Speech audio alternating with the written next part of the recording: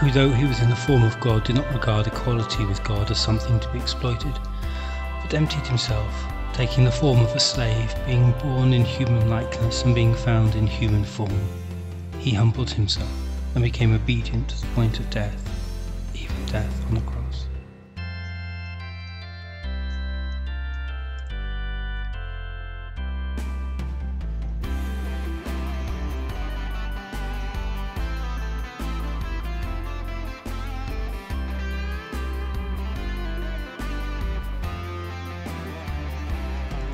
The central first and last point of Christianity that marks it out is that we believe that God knows and understands our sufferings, that God, born of a woman, Mary, was human.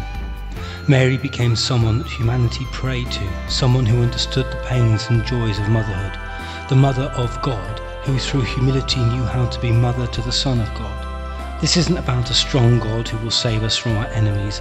This is about a God who laid aside all strength and in weakness became one of us despised, rejected, humiliated, even unto death on a cross.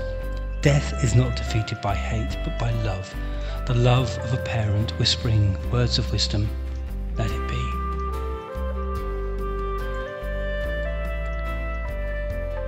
Prayer is not simply asking for those things, but is understanding those things which is important to us and changing our lives around that we may focus and live by what is important. You, Lord, understand our frailties and challenges. You understand your creation. Help us to put things into perspective and know when to heed your wisdom. Let it be.